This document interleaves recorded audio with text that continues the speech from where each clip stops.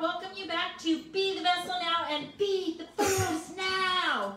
Um, the entire time our last speaker was speaking, Kathy, the Lord uh, dropped a song down in me that was from way back in 1997. And it was just a little clip. I didn't get the rest of it yet. But it goes, um, uh, promises, promises, promises to cling on to, promises, promises, promises that cannot fail. And it's a choir and it goes up. He has given us promises, promises, promises that cannot fail, promises, promises, promises to cling on to. Just open up his book to the guide he's given you. He's promised you will hear his voice and you'll know what to do. Abundantly above what we ask or think he does. Impossible with man is a light thing in his hands. But promises, promises, do not, I'm saying, do not let go of what God has placed in you. Each of us has an individual scroll. It's like straight up. Open your mouth because I'm going to download inside of you what your life was intended to accomplish. But all of these little special, uh, maybe humans, try to tell you, let go of that thing that you keep thinking is going to happen. And you need to say uh, H to the E to the L to the L. No. right? No, we're not doing it. And so I am so excited to introduce our next speaker. Um, our next speaker is a person who refuses to be confined to the day. Oh, I'm cry. um, our next speaker has been an assignment of mine since birth. Um, our next speaker carries giftings that take that person out into spaces that you and I couldn't go into. Um, our next speaker is a person who, you know, always pay attention when the Lord wakes you up. Because the Lord will say, need you to pray right now, Sean. And you do it. Because you don't know the difference you're making in somebody else's life. So I am, besides myself, excited to introduce Mr. Dominique Daly Harris. And he's my nephew.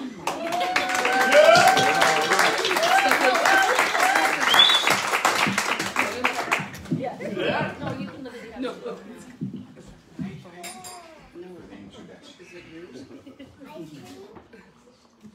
And trust me, I wanted to I wanted to pray over all you guys, but you know it's kind of been a little like woo time and all that. But I want to pray over Dominique. So Father, in the mighty name of Jesus, can I touch you? Okay. I thank you for the solid heart that you have placed inside of Dominique, Lord God. And I ask, Lord God, that in this moment, Lord, that you would, sh- like, uh, what is it? There was a movie where they ripped the heart out of someone. That you would just literally dig in, rip out his heart, and squeeze everything that's in him out. That it would produce fruit in this room, in this state, in the nation, and around the globe. So I thank you for Dominique Daly Harris in the mighty name of Jesus. Amen. Amen. Receive that. Hello, everybody. Let me get my notes. Um, so, just up a little bit. When my auntie asked me to share, my immediate answer was like, of course. But then I was like, That piece would what I'm gonna share, you know, like,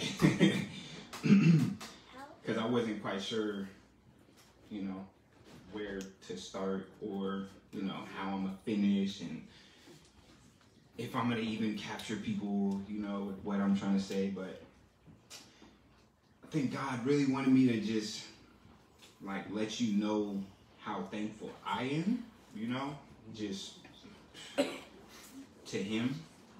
Um, and hopefully you guys will adapt the same gratefulness within you because I feel like it's like mandatory, you know, to just have that utmost appreciation for what the Heavenly Father's doing um, in, you know, yourself. Um, I'm a little nervous, but bear with me. So I'm gonna start with just a scripture um, that the Lord gave me. So Psalms 100. if you guys know it, then great. If not, you go open up your Bibles and read on. So it says, Make a joyful shout to the Lord, all you lands. Serve the Lord with gladness. Come before his presence with singing. Know that the Lord, he is God. It is he who has made us and not we ourselves. We are his people and the sheep of his pasture. Enter into his gates with thanksgiving and his courts with praise. I know that song. You know, you guys heard that. Yeah. right? Yeah. um, and when I read this verse for the first time, like that song kind of like came in my head. You know, like as I said that part, enter his, in, you know, you guys know that song. Yeah. I will enter his gates with With thanksgiving in my heart. I will enter his courts with praise. I will say this is the day that the Lord has made. I will rejoice for he has made me glad. You know what I'm talking about. Yeah. So, um, be thankful to him and bless his name. Over the past like couple years, I've been learning a lot about blessing and like the impartation of blessing. Thankful, you know, because of my father and my mother, um, and like, so I understand the concept of blessing you know, my children and blessing my wife and blessing my household. And so when I'm like, okay, bless God, you know what I'm saying? Like, bless his name, you know, like, how can I do that? You know, he's the one with all the, you know, power and all the, you know. But little did I know, you know, that he's actually commanding that of me, you know, to bless him as well, you know. So, and bless his name, for the Lord is good, his mercy is everlasting, and his truth endures to all generations. So, that's one of the scriptures I want to share. Um, the other one is going to be First Thessalonians, First Thessalonians five eighteen. In everything, give thanks, for this is the will of God in Christ Jesus for you. So, to me, that's pretty much like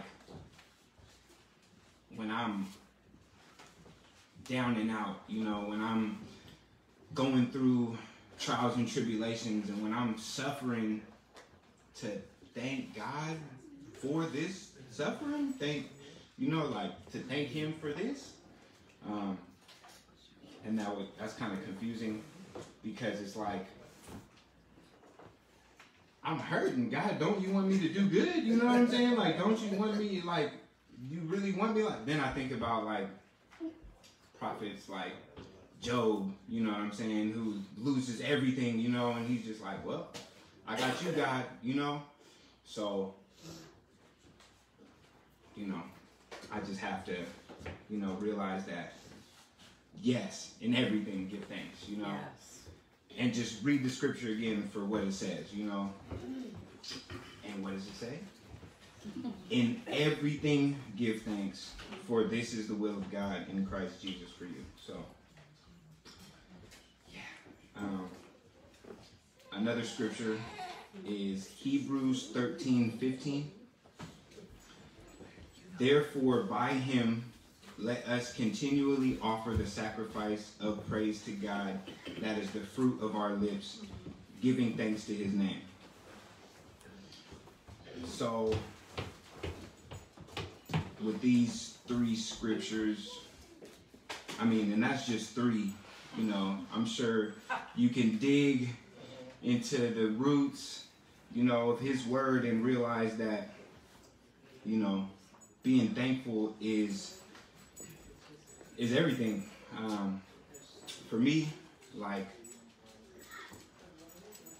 I don't know. It's probably this way for a lot of other people too. It's, easy to kind of get caught up in, you know, the distractions and the despair and the pandemic and like you know all this stuff that's going on. But it's like, man, you know, I woke up today. You know, for starters, I'm healthy. You know, I mean, I'm sure I got some screws loose and you know some stuff like that. But I'm I'm working. I'm operating. Um, so you know, I can't complain. You know, people ask me how you doing. I can't complain. You know what I'm saying? I'm thankful. I'm I'm grateful. You know, and and like being grateful. You know, is just like I don't know. It's kind of magnetic. You know, as well. Uh, I remember I mean, it's not even like remembering times. I'm still going through times where it's like I shine, even if I feel dimmed or if I just feel like I'm just like moving step by step. There's still people who are kind of like, you know, and who knows, maybe they're going through something that's even deeper than something I've been through, but they're like wanting to know what makes me keep going. You know what I'm saying? And one wanting like what and I'm like, man, I'm just, I'm thankful, but then I'm like, you know, like, what do you, what, how do you say, like, what do you say to people? You know what I'm saying? Like, that's gonna spark that flame in them to like keep them going, you know, and it's, I think my, you know, I think the reason the Lord put this on my heart is just to realize that, you know, even just letting people see me be thankful and me be grateful is all I need to do. You know, I don't need to give them something. I don't need to try to find the right answer to their problems or try to seek their problems so I could come up with a solution. But if people's, if anybody that's watching me, for them to just see my thankfulness and my gratefulness. So, with that being said, I'm gonna let you guys hear a song.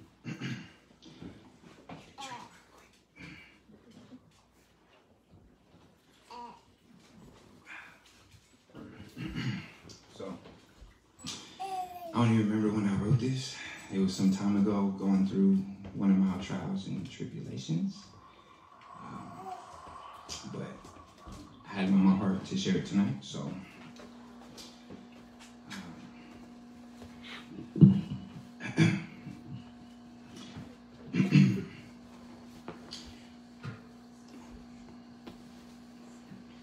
Every day I thank the Lord, so I get on my knees and pray.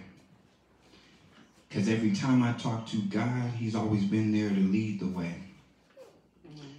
So why wouldn't I thank Him? He's never left me when I was down. I was the prodigal son out there lost, but thanks to Him, I was found. Amen. So every day I got to praise the Lord. I got to pray and give Him thanks.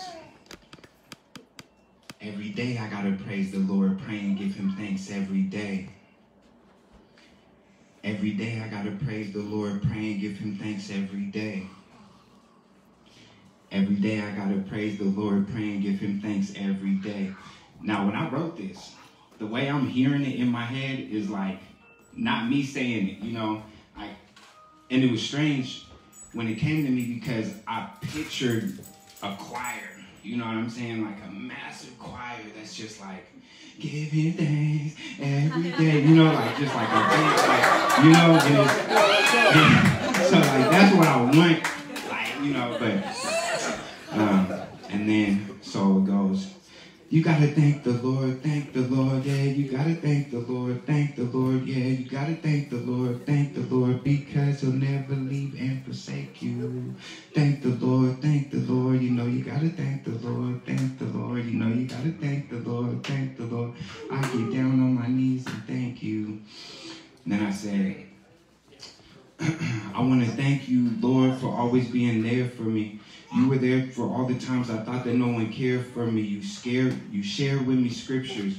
You given me dreams and pictures. You taught me to shut my mouth, open my eyes, and be a listener, as wow. quiet as a whisper and as loud as a lion. You said, I belong to you. You said that you're proud I'm trying. I found I'm dying every moment I'm away from you, but you helped me make it through. That is why I'm thanking you. You deserve the glory, the honor, the praise. I let you control my life so I no longer am afraid. You gave me wow. hope. You let me know my life has purpose, that I'm not worthless and that my sins have all been purchased. You help me stand tall on my feet when I have fallen. So with no hesitation, your name I am always calling. I give my all into you because nothing can change you. You always came through when I needed you, so I thank you. Wow. Every day I thank the Lord, so I get on my knees and pray. And every time I talk to God, He's always been there to lead the way, to lead the way. So why wouldn't I thank Him? He's never, you picture the choir, right? I was the prodigal son out there lost, but thanks to him I was found. I was found. So nice. Now, at the time that I had that put on my heart, there were people that was because I mean that wasn't the only thing I'm writing. You know, like I, I enjoy writing, so I'm writing all type of stuff. You know, and there's people coming to me and they're asking me to hear different things. You know what I'm saying that I put together, and that one though was like bringing tears to people, you know, that's like I, I was on vacation, you know, at the time I wrote it, you know what I'm saying? Uh, not the Bahamas, you know what I'm saying? Um, but one day. But um, you know, there was people that's like, you know, doing like 20 years, you know, that's like, you know, just lost their kid or, you know, going through all type of things and they just want to hear something, you know, from, you know, that I wrote. And I'm like, and that, that's where I kind of go back to my scripture right here where I said, He is God. Oh, it is He who made us and not we ourselves, you know? So I used to get into like a, oh yeah, you know, um, you know, I really people like this, you know what I'm saying? Like I did that, you know, like I did that, you know. Nah, you know, like that's not. I didn't make me, you know what I'm saying? Like my parents, they didn't make me. I mean, they made me, you know what I'm saying? But like, I'm just a vessel, you know. I'm just a. So, yeah, I just want to share that. So, thank you guys. Oh wow. And thank you. Be the vessel. And thank you. I know. Wait, just give us one more thing. I gotta go grab something right quick. Nice commercial, Donald. oh God. What one more, that? one more thing. Throw another rap out there.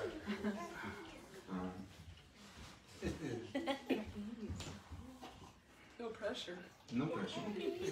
um,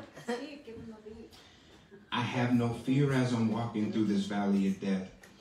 Prodigal son returning home and my mentality's fresh. I shall be the best I could be. Stress no longer oppresses me. I'm blessed, so defeat does not determine my destiny. Because even though I've fallen, I'm still standing and still strong. From the ground, making foundations that I could build on, reflecting and correcting wrong decisions I made, I'd rather die than live a life feeling like I live in a grave. Ooh. Death's not an option out the coffin till the day I'm deceased. One day at a time, ever since the day they said I'm released. They said I'm a beast. They cuffed me and locked me away. Thinking I give up all my hope, but that will not be the day.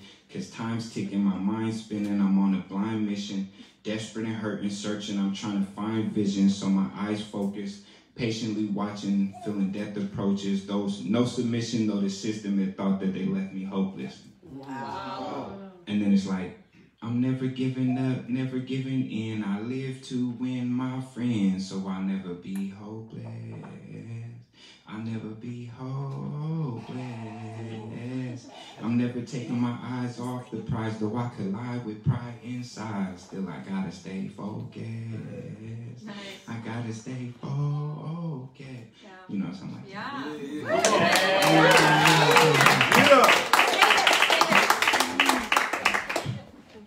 Oh yeah, and another thing, Share your next thing. Come on, you're gonna do this. another thing. Um, I don't know. I felt like trapped for so long, feeling like, and and I hated the system that caged me. You know, like the jail system and whatnot. I hated that. You know, and I always felt like that was my captor. You know what I'm saying? Like that was even getting off probation. I'm like, oh yes, finally I'm free. You know what I'm saying? Like, but I was still enslaved, you know what I'm saying, for so long. And the devil still want me. Don't get me wrong, you know, like he still he still he ain't gonna stop. But yeah. Okay, yeah. when in my time, that's what I meant to say, my aunt was there for me, you know.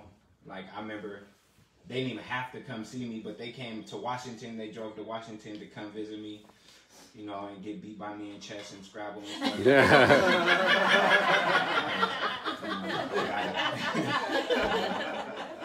so giving me this platform, this was amazing. I appreciate you. Aw. And now I'm gonna make him sing a rap song.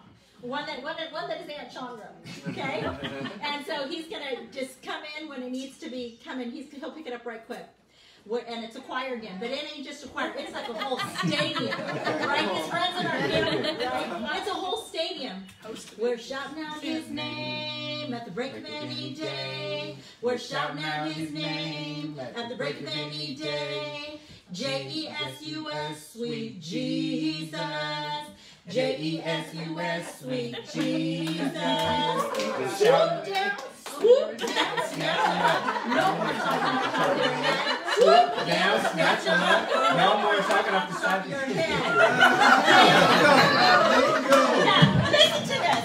Disarm that speech ripped up, those deeds torn down, them lies bound down in crowd.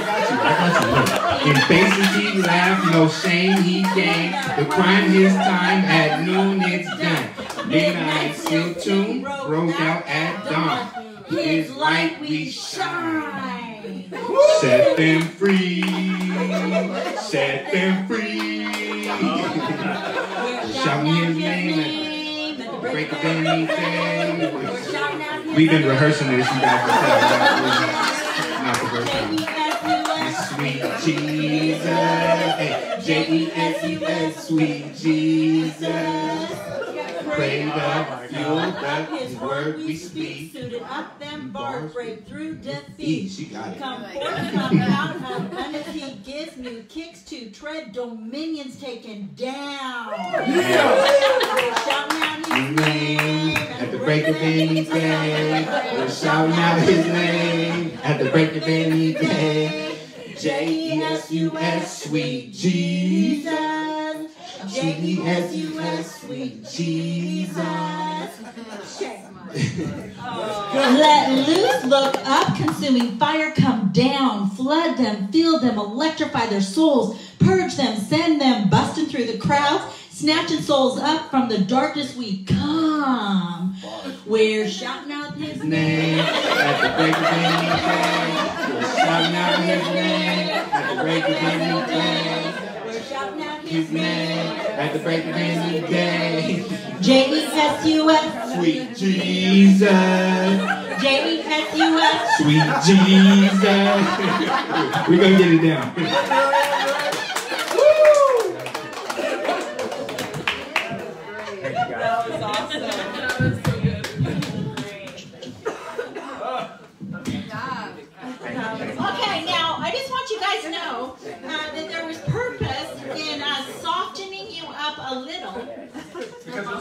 Back for you. because uh,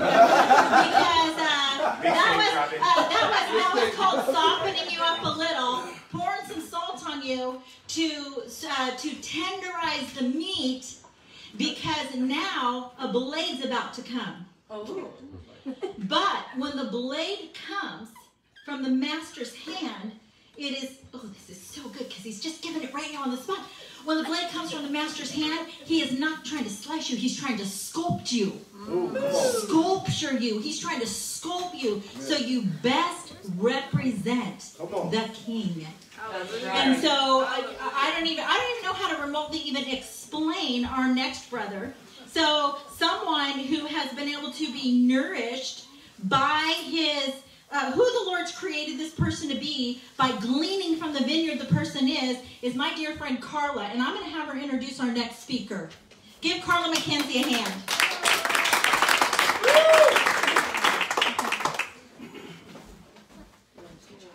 I met Clint a couple of years ago through Unplugged with Charles and Perry. And then I was asked to do a kingdom prayer group on another Zoom with another lady, Cindy. and so we ended up being ministered to more than we actually did things. But now we're getting into things and learning more. But he's the most important person I've ever met in my whole life. And he has taught me the Father's love, which is hard to find in human beings. When you've been abandoned and orphanated and all sorts of things, he brought me through to the realities that no, nobody has ever been able to do in, in the body of Christ. And so I have a lot of respect and adoration for this man. And I would like to introduce him, and I'm still continuing on in another Zoom with him.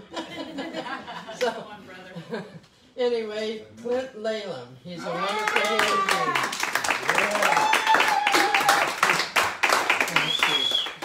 We'll fix the pronunciation later. Um, I can spell better than I can pronounce.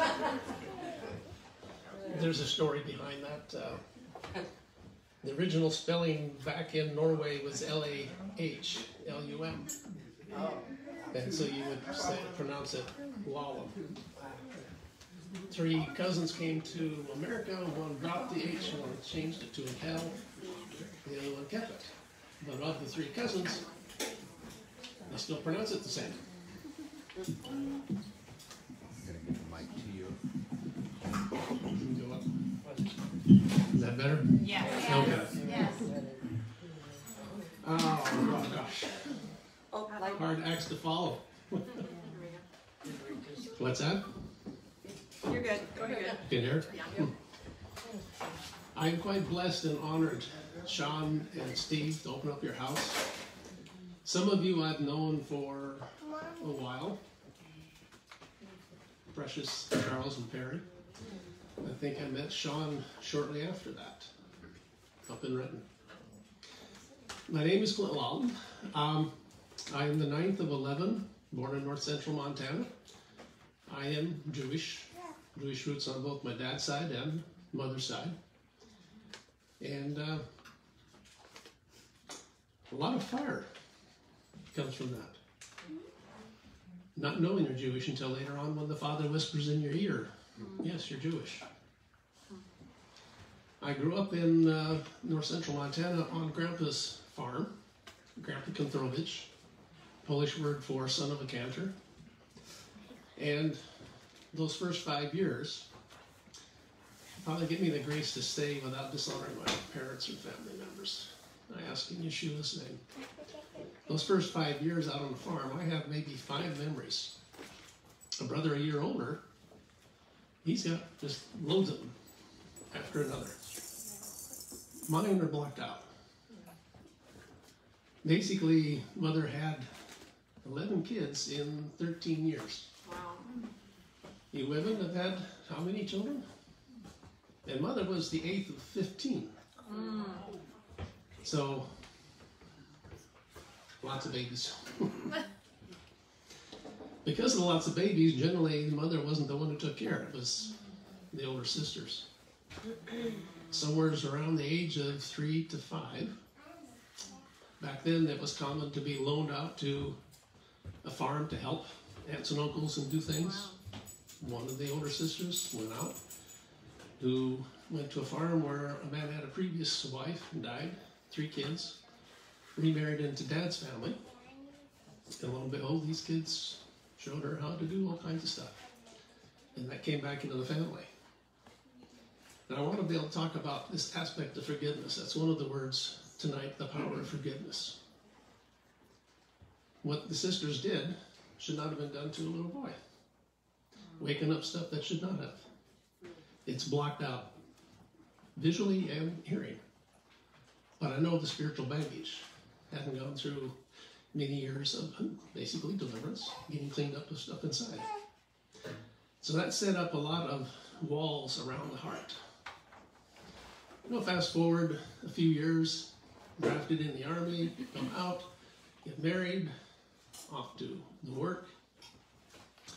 Find myself in the desert in Southern California, Mojave Desert. Do you know what the word in Hebrew for desert is? Midbar, Midbar. What does it also mean? what God speaks. Place where God speaks. If you find yourself in a desert, it's because God wants to get your attention. Mm-hmm. You were in a desert, right? Mm-hmm. Absolutely. That's a place where God speaks. Went through the death of my dad in the fall of 86, death of a marriage in January of 87, and mother, who is the only person who I can relate to as far as showing love, taking care of, compassion. What most of, I think most of you mothers can relate to. After five year battle of cancer, I, as a man, I couldn't fathom her dying without saying, I love you to her at least one time. I was raising my sons as a single dad in California. Very unusual.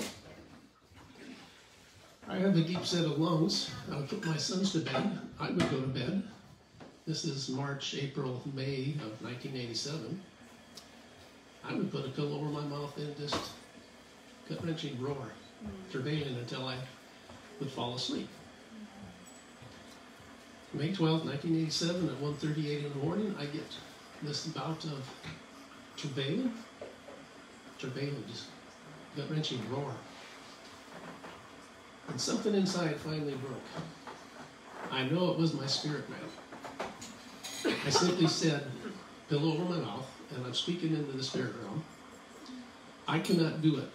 You'll have to do it for me. I'm talking into the ether. Every single one of us knows there is a God, a creator. He wired us that way. He created us that, to know that. As soon as I said that, the spirit realm opened. This ball of fire shows up in here. I still today can see a thumb, a thumb over here, holding this ball of fire. And I sit up, looking through the pillow, looking through the blankets, and I'm looking at my legs protruding out of this ball of fire. And then watching the Holy Spirit seal, envelope, my spirit legs. Now I couldn't see my arms. There's this thumb over here. You can see it. The light in the room, I can't describe. The love he put in my heart, I can't describe. Still into this day. Four hours later, though, called up to Montana, and a sister-in-law just happened to be in the hospital. Mother had tubes, she couldn't speak, but she was still quite coherent. And that welled up. I love you, Mother. I appreciate all that you've done for me. There's no way I can repay the kindness that accepted Jesus. I spoke about 10 minutes to her. The sister-in-law just happened to be in the hospital. They held the phone up. After saying basically goodbye, I get a phone call eight hours later. She went home. Now, I've I've shared some of this with people around the world. For some reason, God wanted my attention, and He did it in a rather dramatic way of getting it. There are certain residual side effects from such an encounter.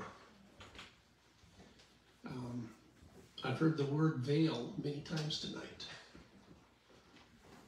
Can you, with your spirit man, see through that veil into the spirit realm? Husband and wives, can you see through that veil around your own heart and talk to your spouse, spirit to spirit? I would challenge you. It's possible. It's possible to do that. So I spent the next three years, four years, going through kidnapping setups, hauled into court in Montana by Mormons and Jehovah Witnesses and major, major battles to take my sons away from me. But God delivered me and my sons out of all of it. Miraculous. Miraculous. And uh, having a family like this, the support is an amazing, amazing part. To have a fellowship, which being a new believer at the time, you would think you would get some support. I didn't have a vehicle, someone provided a car. I didn't have the funds, someone provided the funds to go to the court case. Amazing time. But through that next four years, deliverance ministries getting cleaned up of a whole lot of garbage inside. I needed to find out who I was. And it was shortly after that, met a lady that I remember walking down the aisle on a Baptist church. I glanced over to the left, and I hear this whisper in the left over here. She's too good for you. I wanted nothing to do with women after the 10 years of what uh, they've gone through in the court cases and so forth. Brushed it off. Five years later, ended up marrying this beautiful strawberry blonde. And uh, spent nine years before she was fully disabled, dementia facility for the next 10 years. To be able to take care of her. I physically couldn't do it at one point. But the Lord stepped in and took care of it. Now, back to this issue of the Father's love. In um, 2003, one of the sisters who had done this stuff back to, uh, not, not the farm, came out with her husband, University of Washington, did a procedure. I picked her up to drive a couple hours north to Marysville. She just started pouring out all kinds of stuff that happened on the farm, uncle's place, and so forth. The majority of it I already knew because of what the father had shown me. When I could then respond, I forgive you. I have been forgiven of much. Let me pray for you and your sons. One son is married, beautiful daughter. The other two sons are still single, in their 50s, trying to find life. The promise, the generational aspect of promises, very powerful. Likewise, the disobedience and the, and the rebellion, it goes.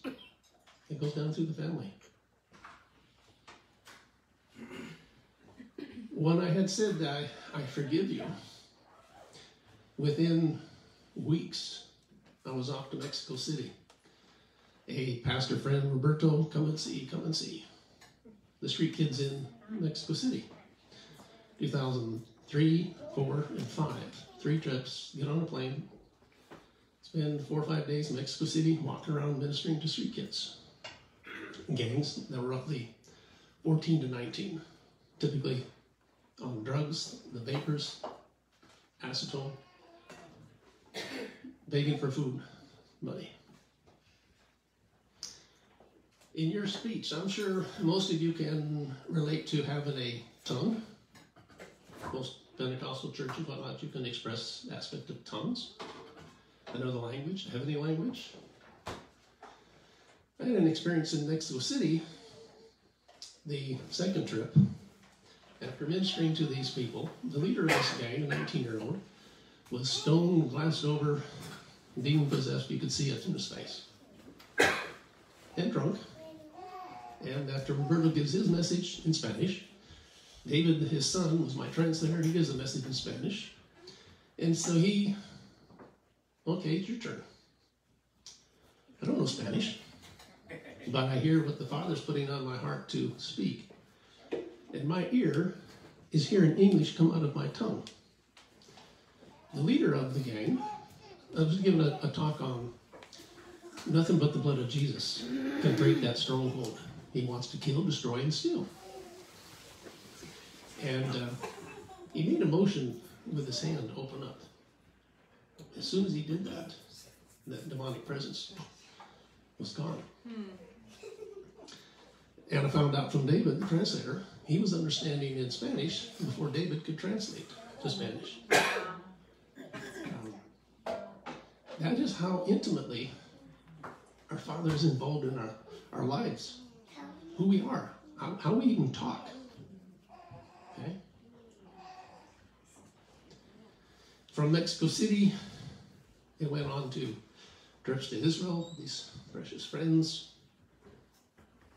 South Africa, India, Nepal, Indonesia.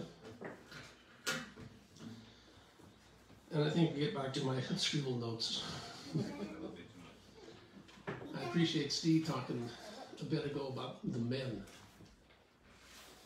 One of the primary areas in ministry that the Father has me involved in. I will get down on my knees on front of whether it's one woman or 300. Ask forgiveness on behalf of the men that had shot, raped, beat, violated you. Some of you here have been deeply hurt by men. Whether it's a sibling, parent, grandparent, somebody. That's not way God intended. But the power of forgiveness is, is amazing. In Luke 9, verses 1 and 2, I think you're aware of, you're all disciples of Jesus Christ, right? All professing? What does it say? You have been given all power, dunamis, authority, excuse me, to do what? Cast out devils, heal the sick, to do miracles. In the body of Christ. Where do you see that going on today? That you would even have a pulpit safe for someone to bring up such a subject. The church in America is still on milk, not the meat of the word. But because of my childhood, I don't relate to the word authority. Yes, being in the army, not recognizing rank, I get in a boot camp. I don't salute this lieutenant walking by. Do you know who I am? No. Do you know who I am? Give me 20. Get down to 20 push ups. Okay. Give 20 push ups. That's the authority used in a, in a wrong way. But because of my dad and the issues in the childhood, I don't really use that word authority. There's another interesting definition for it in the Greek jurisdiction. I can relate to that very well. Jurisdiction. So, what have I done, or my forefathers have done, contrary to Scripture, to God's Word? Not what I'm saying, not what you're saying. God's Word is the standard. That is the Bible. It has to line up with the Word. It has to line up with the Word.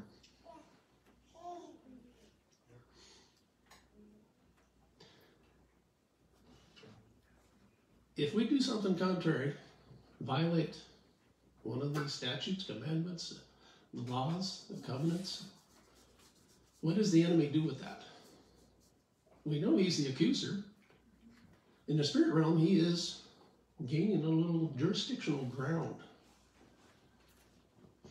How many of you been to India? You're aware of the fact in India, if uh, you don't put a fence around your property, and someone comes and kind of squats in a corner for very long, they acquire ownership of it. And you can't kick them out. They, they become owners of that. Similar in the spirit realm, when we do things contrary to what Scripture says, the enemy can, he knows it better, the Scripture better than we do. Mm-hmm. He knows every single dot, dot and tittle, everything. And we violate it, that's a jurisdictional accusation claim. The only way that that can be broken is through the blood of Jesus, Yeshua, okay? to acknowledge whatever the sin was, the iniquity, the transgression, carte blanche. His sin, he was sinless. Perfect. The only perfect man that walked on the earth. No sin found in him. None of the rest of us can claim that. He was the only one who could buy all of mankind back from the fall in Genesis 3. Now, to break the jurisdictional claim, you have to be aware that you did something contrary to what Scripture says. That's to acknowledge it, confess it, repent of it, and to clean house. Clean house and where I move is put to death of the works of the enemy, of the flesh, or you kick out the enemy. But you can't do that until the jurisdictional claim in the courts of heaven had been reconciled with the blood of Jesus. And that's kind of what I've been doing around since 2003 in my travels, helping people do that cleansing. I fully acknowledge I'm not capable of keeping my soul clean. I clean the house. I put the works in the death of the flesh. I invite the Holy Spirit into that room to occupy it for eternity. You cannot do it by yourself. It's a daily dependence upon it. Daily dependence.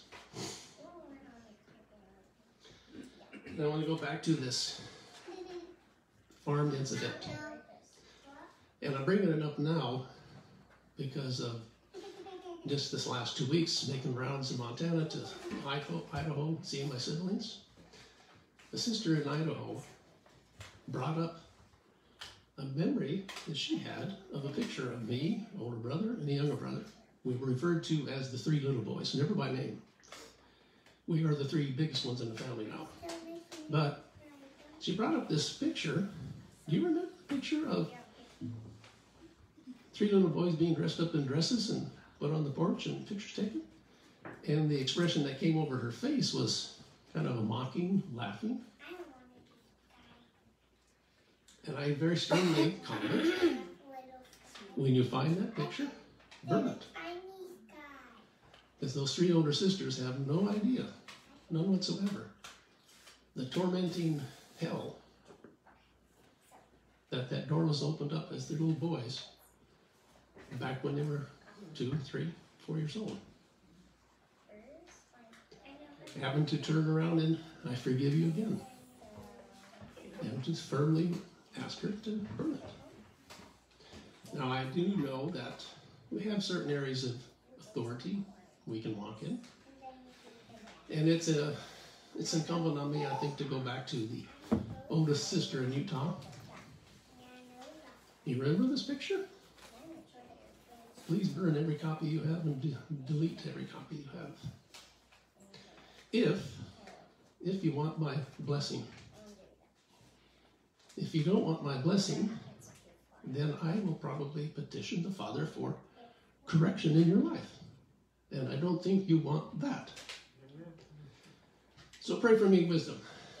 That is one issue that needs to be taken care of. Oh boy, visions. I've heard veil mentioned a few times tonight. In Genesis, when Moses went up on the, the mountain and he came down, glory shining through, what did the people tell him to do? Cover his face. That word veil in the Hebrew. Um, it didn't block Moses' relationship with the Father. He still talked, communed, related with the Father. It blocked the people outside. Okay? Shortly after that incident, the episode of the molten calf, he came down and found him dancing around partying with a molten golden calf. What did Moses do to that calf, golden calf? Melted it down. Crushed it into dust, put it in water, made the people drink it. With the exception of one tribe. The Levites crossed the line over and sided with Moses. Well, that word molten in Hebrew is the same word, the veil. You think the people were putting a veil over their own hearts? Well, certainly did.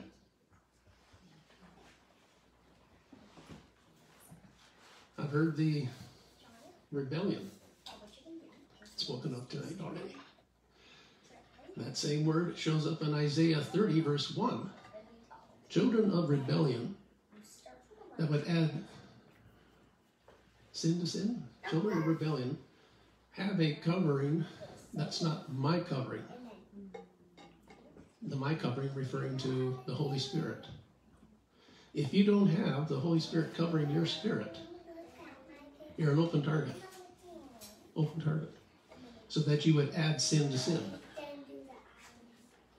And you see that today in typically 99.9% of the Jewish world. That veil is still over their hearts. You cannot talk to a Jewish person, an Israeli, and say you're you have to be born again. Doesn't equate. You need to have a new spirit. They cannot separate their soul and spirit. They have a different meaning and understanding of soul, nefesh, spirit, ruach, than you learn from the New Testament and the Greek. They still, though, don't see it. Ezekiel 36, verses 26 and 27. I will give you a new spirit. I will take the heart of stone out, you a heart of flesh, and I'll put my spirit in you. I think we all can relate to that is basically the gospel, born again. It's in the Old Testament. The veil that's on their heart, they just blow right by it. How do you get rid of the veil over your heart?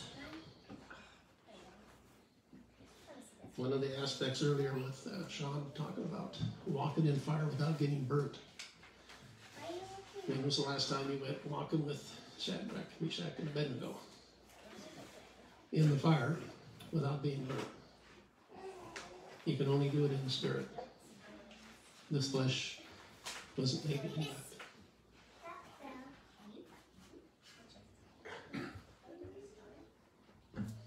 I think most of you have a clear meditating and waiting on the Lord to separate out and hear His voice when He's speaking. I know the Father loves me. I can't put into words. And I know Yeshua loves me. Most Christians refer to that love of, love of Jesus. Can you go on beyond Jesus to the love of the Father? That is this fire, calling, purpose. I've had 17 trips to South Africa. I've been on my knees in front of 300 women asking forgiveness. And South Africa is a very violent place. Women are not treated well. Women are not treated well here in America. That has to change. That has to change. The refining fire that God is going to bring to the church. The bride will be spotless. I am part of the bride. My husband is Yeshua. Most men have a difficult time saying that or relating to it. They have a husband. There is no gender in the spirit realm. That's only in our flesh. And a little bit in the soul realm. Certain differences emotionally, but kind of derived from the flesh. So when we walk in unity, that's that place in the spirit where we walk. One of the exercises, I think, back Delwyn, back in Renton, Proverbs 4 20 to 23 is a pattern that the Lord pointed out to me many, many years ago. If you want to be able to clearly hear His voice from all the other competing voices that come against you, my son, attend to my sayings, pay attention to the words, keep it before your eyes. That talks about the eye gate. Eye gate is the main door, men to the soul. Women, you have two ears, what you hear. How many of you have red letter edition Bibles? Take a red letter edition Bible. No cell phones, no disruptions, no other backbeat music, nothing. Read out loud only the red letters of Jesus. So you have it coming in your eye gate, through your brain, out of your mouth, and into your ear. God's word goes through that veil, that filter, to our spirits. That's one of the easiest ways I've learned a long time ago to start recognizing all the competing voices out there. How do you test a spirit? Well, you've got to have some kind of a dialogue with it. No, you typically don't want a dialogue with demons. You don't. You need to be able to recognize the image, the character, the personality, the reflection of Jesus so well. That is the voice. Anytime someone says something, me, every other speaker here today, is it coming from Father? Is it going through that filter to your spirit with the truth that touches and sets the captive free? Some of you know your Greek a little bit. In the New Testament, the word truth, what is the basic definition of truth? If you go look in the concordance, truth, truly, true. Okay. It's rooted in one word, though, that simply means to not conceal. What is concealed from your spirit right now? What veil is concealing something in the spirit realm? To me, that's what truth is. I've had too many episodes of the veil literally rippling in front of my eyes, these physical eyes, and seeing what's on the other side. What I call the red letter edition exercise. Read the red letter. You start with the book of John because it's a love letter from God the Father to us. Matthew, Mark, and Luke. So that you can tune your spirit to recognize his personality, his image, his character. That points to, in Scripture, I kind of categorized five categories of who talks to who. God the Father, Son, and Holy Spirit is one. Their voice is one. Their personality, Jesus was a little bit different, but they're one. God. They're in agreement. There's many scriptures of angels talking to us. Do you talk to yourself? We each talk to ourselves. I'm talking to you, to other people. The fifth one is the fallen angel, starting with Genesis 3 1. In the Hebrew, it's Nakash. Most translations use the word serpent or snake, deceiver. And uh, sadly, most people, till later on in life, start to separate out his voice from other stuff. With trials and tribulations and refining fires.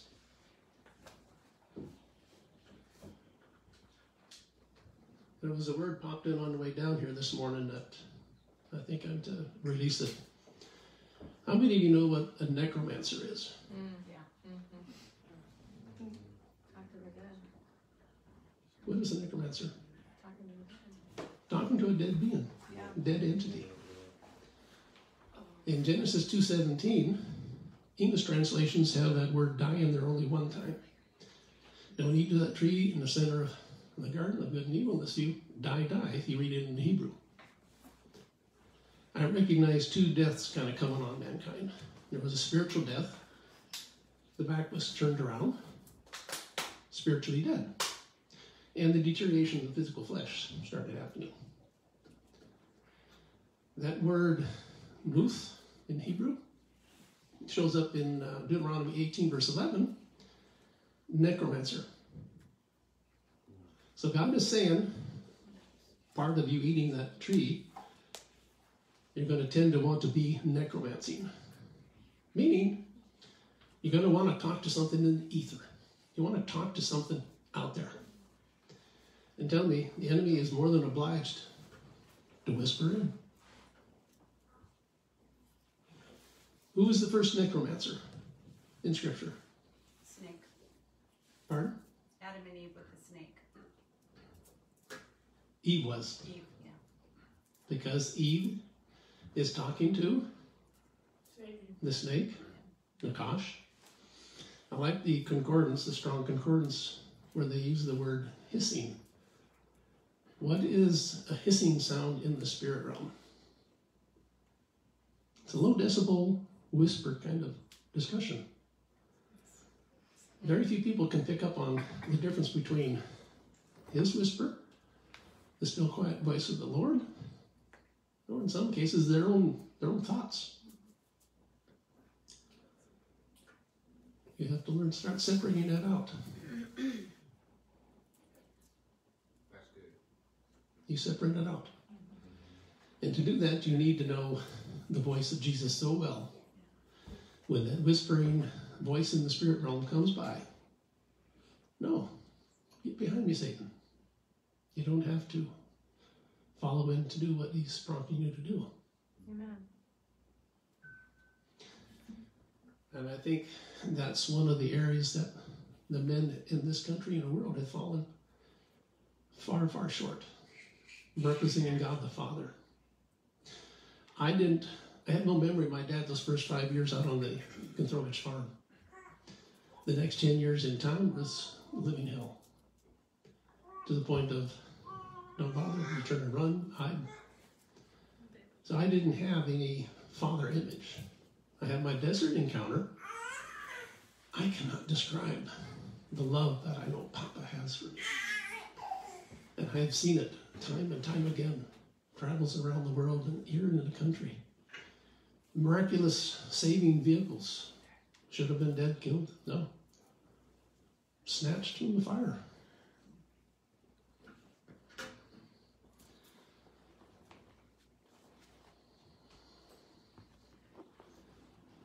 So,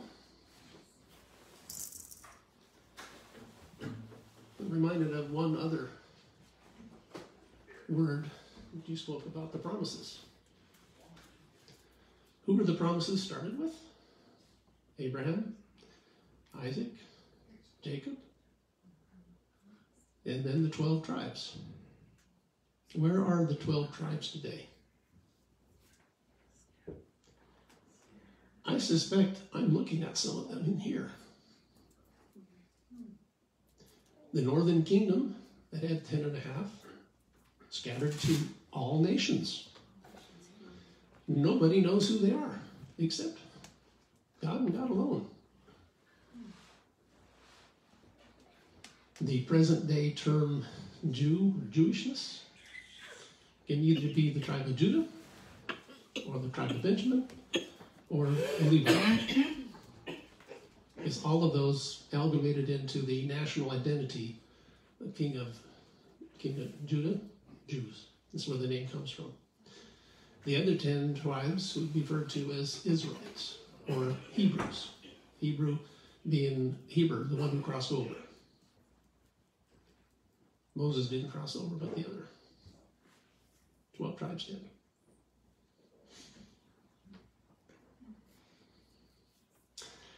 Have I given enough of a fire hose? I can attest to the power of the blood of Jesus, time and time again. There is power in the name. Amen. Okay? When you're reading your Bible, you read the power of the name of Jesus. What do you think a Jewish person encounters when they read their Bible? You know, his Hebrew name is Yeshua. Joshua is a form of Yeshua. Most of the Old Testament words for salvation, saved, Joshua,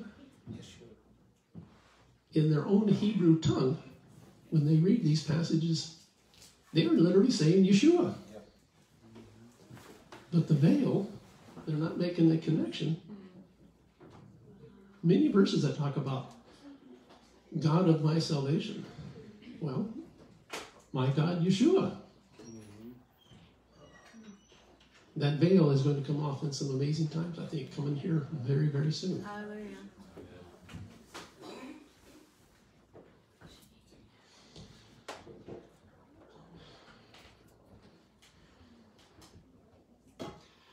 Think I've plowed enough tonight, Sean.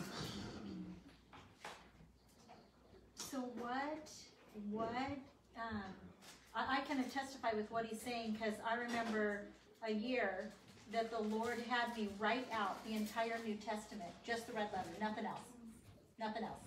And it was several times, just the red letter, nothing else. And, um, there is something about even, so Clint said, you read it out loud, you're seeing it, you're hearing it, and you're speaking it, mm-hmm. right? Well, then you could add you're writing it, that's another sensory, or you're typing it, that's another sensory. And so I, I just think that, Modern science is proving that. Dr. Caroline Leaf in Texas has scientifically proven reading out loud the word to your brain will restructure the proteins and neural network synapses in your brain. God's word has the power to do that. so can you, can you, um, um, uh, expound on image? Image. The old man and the, the, the, the rebirth of the man and then the moving forward. Can you expound on that a little? I don't have any memory or picture of what my old spirit looked like. Because of the dramatic fire incident in the desert, I see the ball fire. I see my spirit legs. It's a, a blue color. And the Holy Spirit sealing up my legs is another kind of blue. The old man, though, that's the old nature. Okay? Uh, there are only two natures in mankind. Only two. You go through your scripture. We are created in the likeness of Yeshua. That's our original design, likeness, who we're supposed to reflect and be like. By end of Genesis 3, there is a, uh, in the spirit realm, I see it like a light. How, how dark is that? How light is the darkness in you? If you stay underneath walking in the Spirit with Jesus, His light, being an example, you take that light into a dark places, into a dead and dying world. If you resort to an act of the flesh, you're kind of by choice, choice of our own free will, you're moving yourself in the Spirit back underneath the enemies light, shadow, darkness. We, as people, humans, we're the only one given that free choice to go back and forth. You can choose. 1 John 3 9 says, If you are born again, the incorruptible seed, your spirit man cannot sin. Done deal. Paid for. Any sin, 1 John 3, verse 8, sin comes from the devil. Well, that's his influence on our individual lives, families, corporate, this country, the world. He is still prince ruling around the world. And we see that darkness, sadly, overcoming our country in Washington, D.C.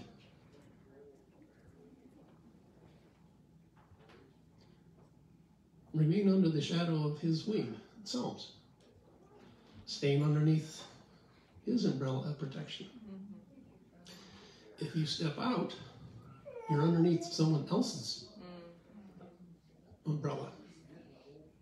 There's no middle ground in it. He knows exactly when you're making that step one way or the other to do something do something contrary to Scripture. The vileness of human flesh, we all know, is ugly. What man does to man. The Holocaust. It's been going on since before the flood. And God, our Father, has a plan. He is going to see it come to fruition. His time scale, not ours. And I trust Him. There are many references in the Old Testament. All of Israel, all of Israel is going to be saved. All of Israel is going to know Yeshua. And you talk to an Israeli, Orthodox Jew, they'll nail their faith on that verse. It may have been in the time of Paul, apostles, first century, many of the Jews that became believers in Yeshua back then. It may be today, someplace in the future. They hold the Father to his promise. All of Israel is going to be to know Yeshua, be saved, salvation. They don't they clearly admit they don't know when that's going to happen.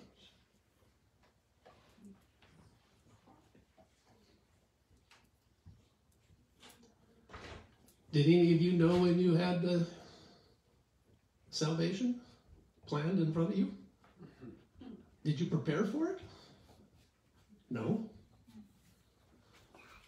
The 34, I was 34 at the time in Southern California. Never saw a church except for a Catholic funeral, a wedding, Methodist summer school a couple times, Lutherans, Wallums, Norway, Lutheran, but never there. Never had a plan of salvation, the gospel expressed to me. And so my desert experience is somewhat abnormal. Most Christians go through a prayer of salvation. Most Jewish have to have a sign presented to them. I attest to the sign. Yeah.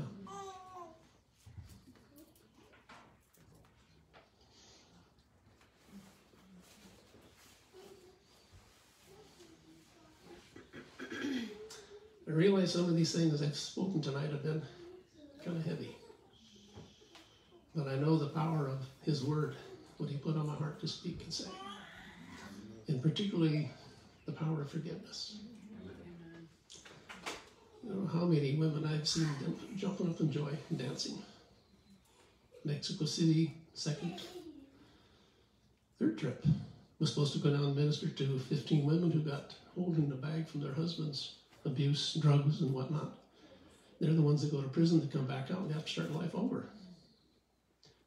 Going down for a three day weekend retreat on a park. The day before I fly out, 100 year flood, the entire park's washed away. It ended up going to uh, a friend's house.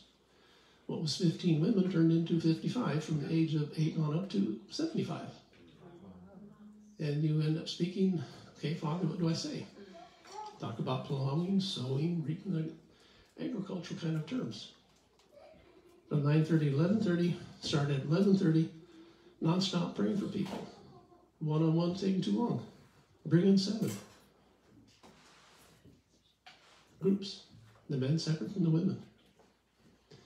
One lady saying she's dragging her foot around her leg like a club, the size of the thigh all the way down to her ankle. She kept pressing in, pray for my daughter, pray for my daughter. No, pray for you. Getting her to forgive her husband for being unfaithful, raping her, beating her. The next morning in a Baptist church, she's up dancing around in front of the congregation. Mm. And the Baptist pastor, wow, what happened to you? She explained, you can come down here and minister anytime. No, wouldn't let me minister. I had to go out on the sidewalk. I finally get to meet this lady's uh, daughter. Spirit starts pulling up questions. How do you know so much about me? I don't. I know the one who does. That is my prayer for you. You learn to know that voice so well. That's how you minister. Right, brother? Lamentations 2.14 talks of the false prophets that tickle the ear so that the captives are not set free. The iniquity is what's holding them captive. False prophets do not expose the iniquity. Therefore, they're not set free. God is raising up prophets in this country and around the world to expose what that specific iniquity is that has that jurisdictional claim so that his people, us, we can be set free.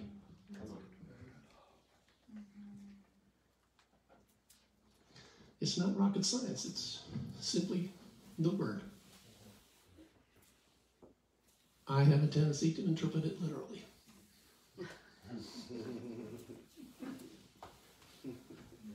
Yes, that bothers some people. Any other questions? Thank you, Clint, for sharing your heart, you know, because as of uh, a few hours ago, we were singing songs about breakthrough and breakthroughs aren't pretty like waterproof mascara, you know, sometimes it just, it has to happen, the wounds have to be lanced, so all the nasty stuff can come out, or else we just waddle out the same way we waddle in.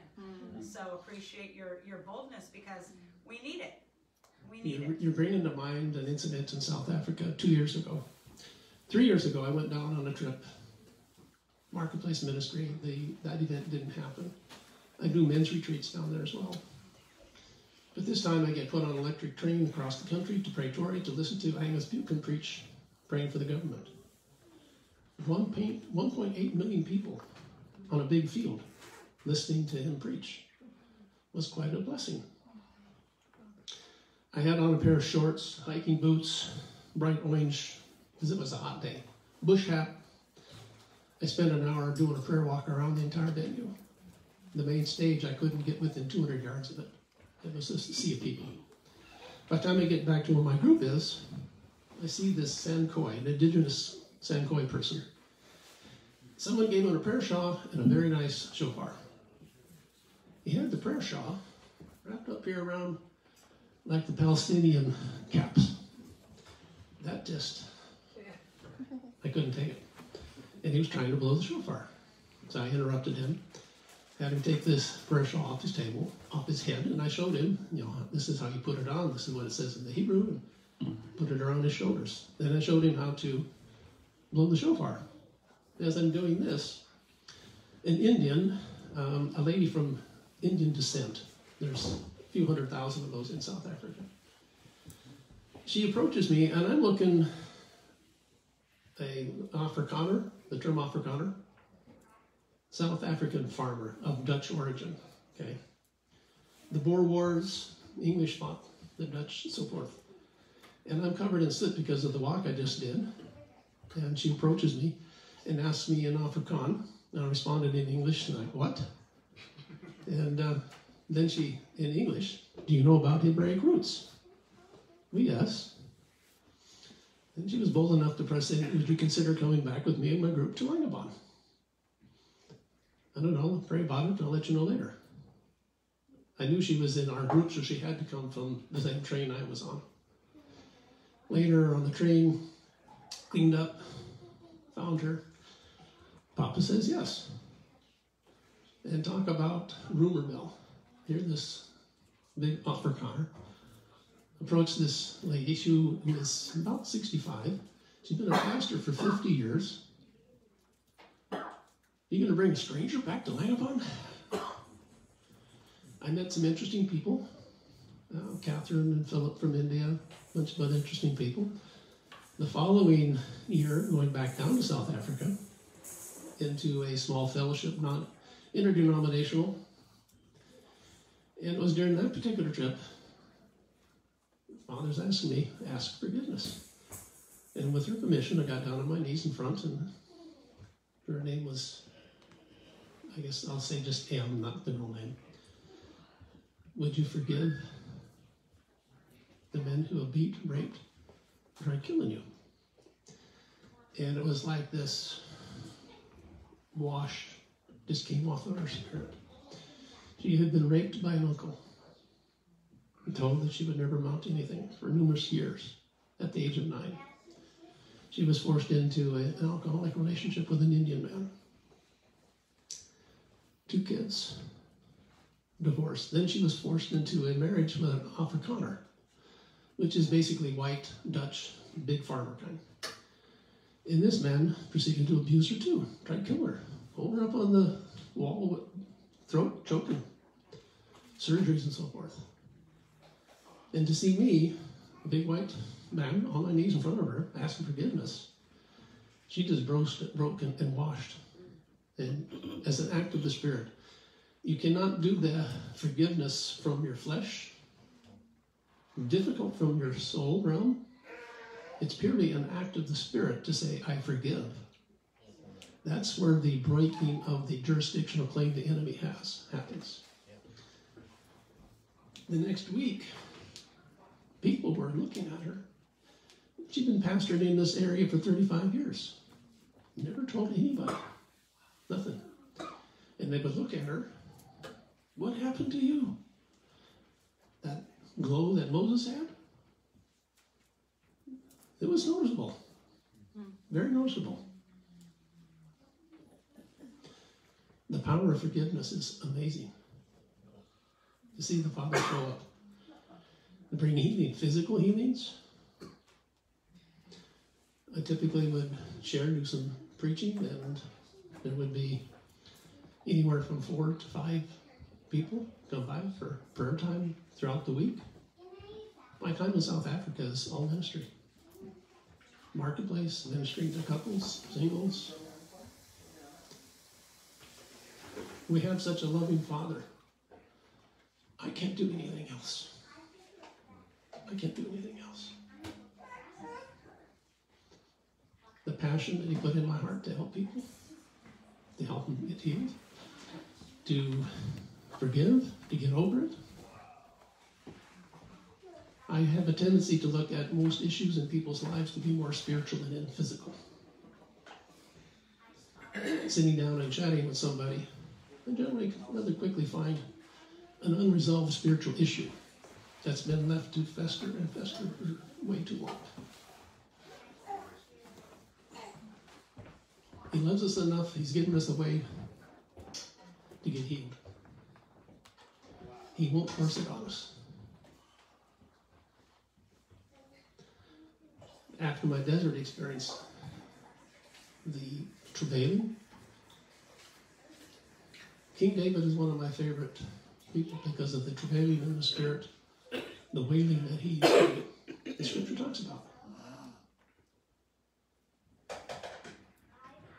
Charles, when was the last time you did gut wrenching, travailing, wailing, weeping?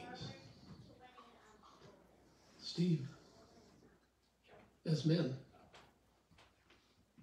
it should be something that's just right there.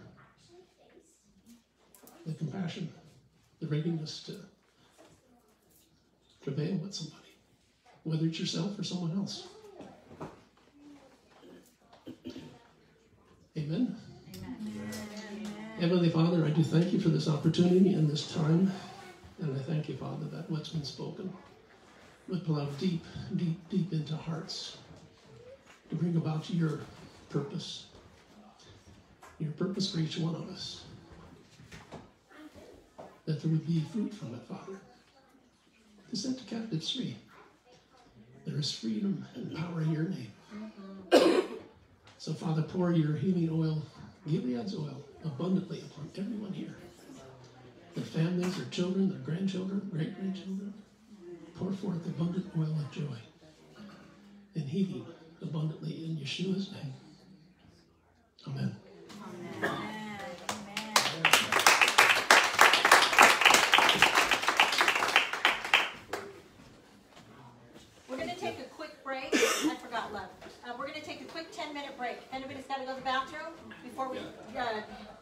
We, yeah, for, for the live stream, we're going to take a 10-ish minute break back at 9. Um, so in about 15 minutes, 9 p.m. Pacific.